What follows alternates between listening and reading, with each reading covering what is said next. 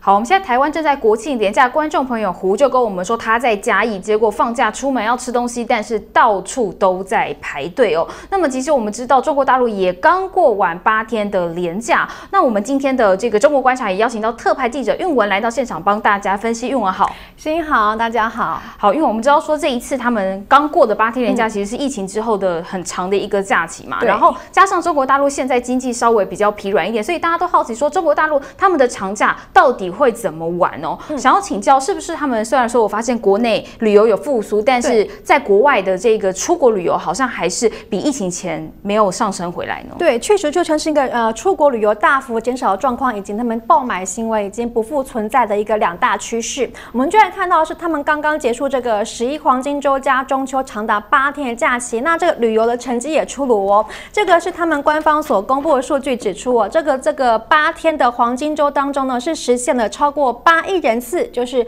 八点二六亿人次出游。那平均每天有超过一亿人次在出游，这还蛮惊人的一个移动的这样的数字。这个是比疫情之前呢成长了百分之有四点一之多啊。那也实现他们的国内旅游的收入是超过了七千五百亿人民币，是比疫情前增加了百分之一点五，是创下了新的历史新高纪录。但是这些通通都是挤爆在他们的国内旅游，这个出国旅游确其实呢是复苏的蛮有限的。我们就来看到这边他们的入出境的这个八天当中呢，是只有一千一百八十一点八万人次，那比官方原先预估的其实低了不少。那也只是疫情之前同期的时候的八成五而已，而且他们的所谓的出入境是指还涵盖了他们大陆旅客呢去港澳地区这个特别行政区的，也都算是出入境的这样的数字。那我们就来看到是目前陆客在这八天当中，前两天赴香港玩的只有二十八万名陆客，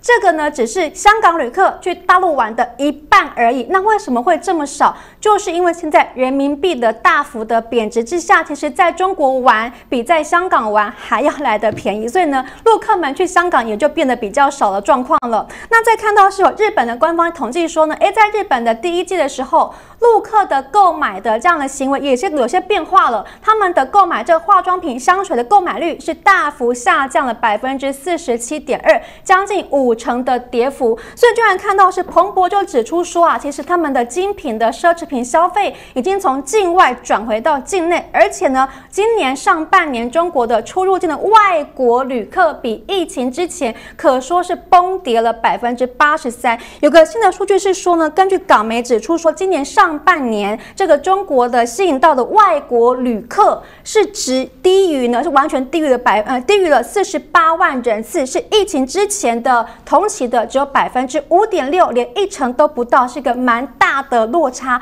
那为什么？就是因为现在呢，中国推出这个所谓的反间谍法，让大家让外国人觉得蛮恐惧的，是你的法律的界定很模糊，让他心生恐惧之外，就是现在呢，中国的这个旅游签证也很麻烦，还有他们网络要爬墙、要翻墙的等等不方便之下，所以呢，在疫情之后，中国对外国客的吸引力似乎是有在下降的趋势。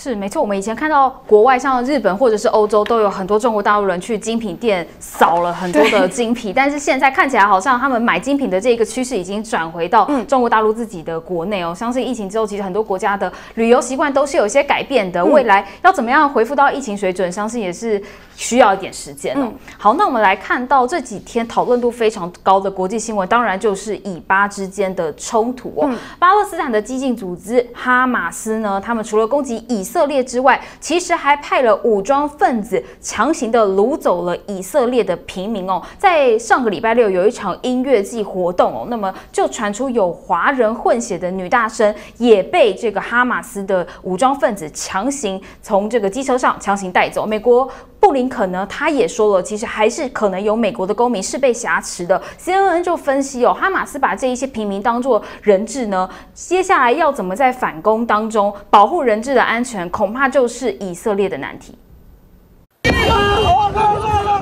一大群人尖叫奔逃，以色列音乐节遭到巴勒斯坦激进组织哈马斯民兵闯入，现场有如大逃杀。接连枪响后，有多人被挟持，其中一名就是这位二十五岁的女大生诺亚，她被人目击遭到哈马斯用机车载走。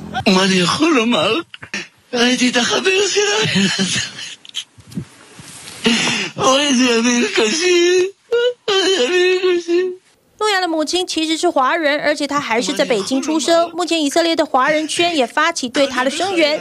至于另外这位以色列父亲，上网看到妻子和两个女儿被抓，也在镜头前恳求哈马斯赶快放人。Don't hurt them. Don't hurt little children. Don't hurt women. If you want me instead, I'm willing to come. 焦急的以色列家属塞报警察局，他们还主动提供 DNA，希望能进行比对，找回失联的亲人。 דגימות DNA בשביל לחפש את אחותי. אחותי מאתמול בתשע. 现在以色列军方被质疑反应太慢，就连仰赖以色列情报的美国也有人被掳。 Several uh, Americans may be among the dead. We are very actively working to verify those reports. U.S. citizens who have been taken hostage as well, Mr. Secretary? That's correct. 现在流落加萨各地的以色列人质，恐怕都成了哈马斯谈判的筹码。 or there's high um, high Palestinian death toll in Gaza from Israeli airstrikes, then they would expect Hamas to try to put political pressure on the government of Prime Minister Netanyahu by by putting hostages on camera. 如果局势恶化，哈马斯甚至可能杀害人质。该怎么在反击中营救，也成为以色列总理纳坦雅胡的难题。TVBS 新闻综合报道。好，我们刚刚从新闻画面上也看到了非常吓人的这一个战争的画面哦。那么其实像威廉逊也说，其实从很多社群媒体上面也都可以看到很多第一手的直接的影片哦。当然，现在以色列也可以说是进入了战争状态。那我想要请教韵文，目前是不是也有大陆的留学生是在以色列？目前现在那边的状况是如何？嗯，确实，其实蛮多这样的中国的在那边的学生呢。我们就来看到是陆美去访他们当地的这个中国的留学生。那这位呢是一个在以色列念书的博士生，是个女生，是个女性的博士生。她就提到说，其实通常过去啊，这个很多数的这个火箭弹的攻击都会被他们以色列的这个铁穹这个防空系统给拦截下来。但是这一次是完全不一样了，他们有这个附近的住家，就住家附近的大楼呢，整个被袭击到，被打到了，而且他的手机的空袭警报呢，从这个十月七号开始呢，就响个不停。他感觉到完全是不一样的状况。那刚条说这个铁穹系统，它蛮厉害的，是可以拦截这个五到七十公里的这个短程的火箭弹。但是这次为什么这个铁穹好像没有发挥到一定的效用，造成这样大规模的攻击的死伤？那再看到是以色列是蛮特别国家，他们其实可说是呢，在这个公共建筑、在民宅都会设一个叫安全屋，类似于是这个避难系统的空间。那他提到是说呢，他们现在当地啊，其实有是说大概平均每个人要可以在三十秒之内到这个避难所去来避难这样的情形。那除了安全屋之外呢，警报的系统是完全全覆盖在整个以色列的，以及他们是个男女都要当兵的国家，所以他的室友就两名也被征召要去当兵了。因为在以色列呢，只要年满十八岁以上，不管男生女生，你通通都是预备都要去服兵役的。他们呢，男生呢是要服兵役至少是两年半到三年，女生呢是至少两年的期时间。所以呢，男女皆兵状况之下，现在可能多数以色列人通都要被征召去上前线打仗了。那我们再看到这一场，可说是他们以巴之间呢近五十年来最大规模的冲突、哦，是在当地的这个周六的休息日所发生的阿卡萨阿阿克萨的风暴行动，所以也造成当地比较严重上千人的这样死伤的情形。那目前在当地呢，这个已经关闭的是机场跟相关口岸陆路的一些交通了。是没错，像刚刚韵文也讲到说，以色列其实是有这个防空系统飞弹，应该是可以拦截。但是威廉逊也说，平均拦截一枚飞弹需要用到两枚的飞弹才能去拦截哦。所以当然了，这也是可能这一次他们没办法成功完全拦截的原因哦。那好，那我们也非常谢谢韵文今天来到节目现场帮我们进行分析，谢谢韵文。谢谢谢大家。好，那我们知道现在呢，以色列当地的状况其实可以说是非常混乱，很多消息呢，目前也都是陆陆续续的在传出。当然，很多国家现在也安排了撤侨班机，要把自己的人民接回国家。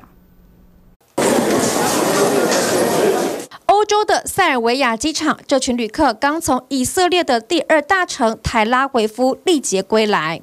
Išli smo u neke manastire još da posjetimo, ali smo se brzo vratili, putu više nikog nije bilo.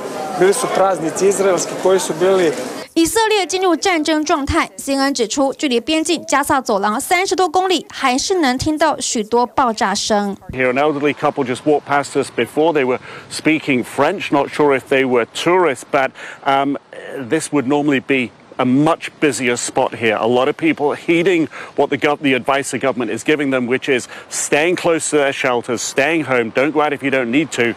因为以巴冲突升级，多国取消往返以色列班机，在塔拉维夫机场要离开得大排长龙抢票，入境区则变得空空荡荡，还多了这项告示牌。下飞机之后呢，在显眼的位置一路都能够看到非常明显的避难所的标志。目前进驻以色列班机几乎都是撤侨专机，像是这班保加利亚政府的专机，让顺利离开的保加利亚国民激动的开心挥手。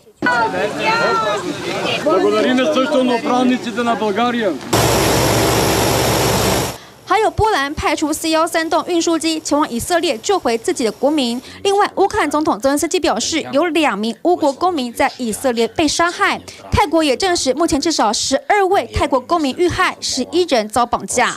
แล้วก็ความพยายามในการอพยพคนไทย แล้วก็พลเรือนในพื้นที่นะคะก็ทางฝ่ายอิสราเอลก็ในส่วนของแรงงานไทย 泰国政府呼吁释放百姓，谴责暴力。另外，北京当局提到，中方立场是推进两国方案，让巴勒斯坦独立建国。以巴冲突已经波及多国公民的生命安全。TVB 新闻袁山、陈玉文综合报道。TVBS 新闻直播回到 YouTube 频道了，提醒您每周一到周五的晚间七点到九点，由新化主播为各位新闻划重点，记得一定要来参加直播。